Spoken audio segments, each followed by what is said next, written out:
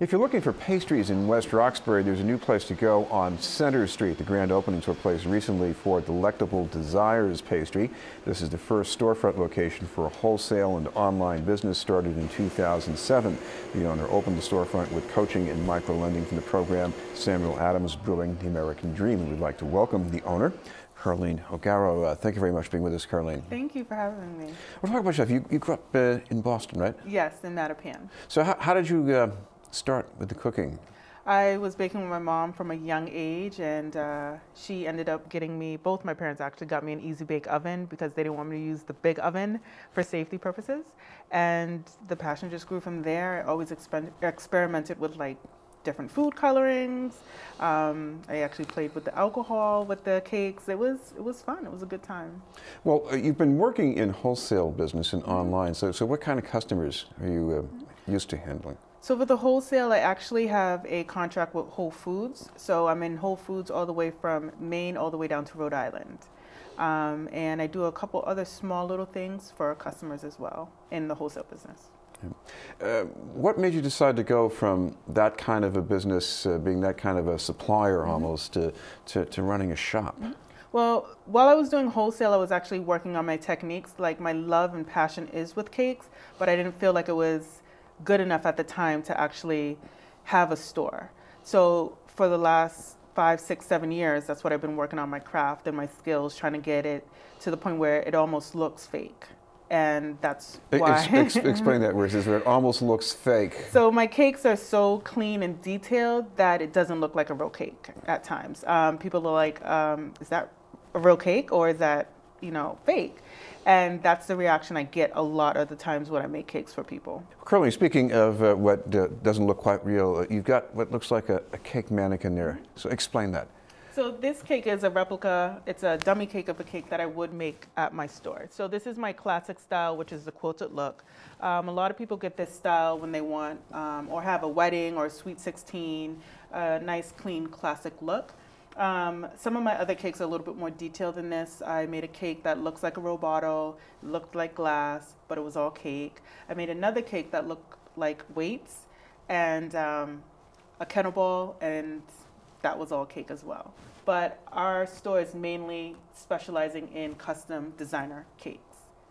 Now, the other thing, of course, I mean, pe people want strange-looking cakes, yes. exotic cakes, but um, what is it about a cake that's, that's good because I know mm-hmm. I, I grew up, I would pig out in these things, mm-hmm. but nowadays, oh, it's so heavy, mm-hmm. it's gooey. Mm-hmm. Um, people want something different, I mm-hmm. think.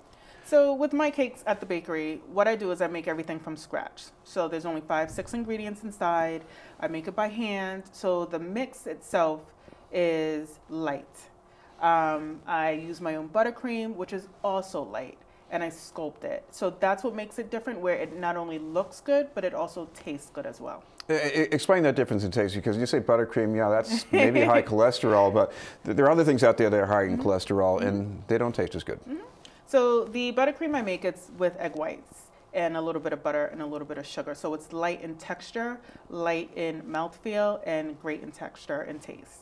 Now, of course, the other thing is you're, you're picking a place to open up a business and, uh, you know, this is a, a, bit of a new frontier for West mm-hmm. Roxbury. I go back to the old days of Hamleys. You got cupcakes, you got brambles, mm-hmm. and, and, and, yes.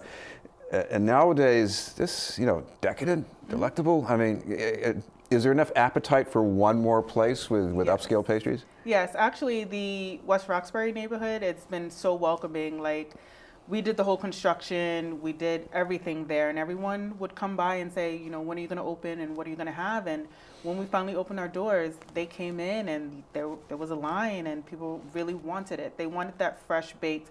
We see you make it, we see you rolling the dough, and we see it in the, the display case, and now we want it. Now, I know there's, there's one thing, you, you can't really get it at Roche Brothers, you can't get it even at Whole Foods. Mm-hmm. You, you walk in the door, mm-hmm. it smells like a bakery. Mm-hmm.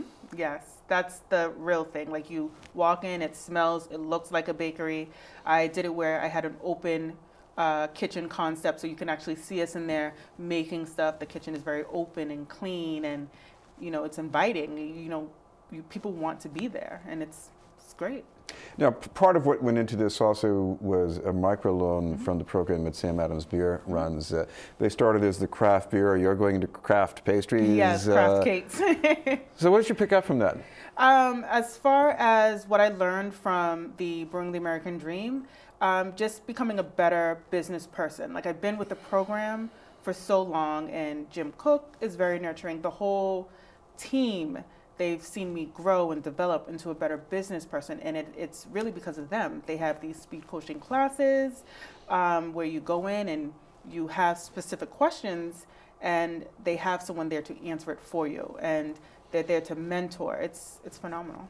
Well, uh, we should just uh, give our viewers a couple of pointers about exactly where you are on Center Street and where they can still find you online. Sure. I'm located at 1755 Center Street in West Roxbury, and um, they can find me online at www.delectabledesires.net. Right. Thank you very much for being with us. Carlene Thank O'Garro you. from Delectable Desires Pastry. We'll have more news in just a moment.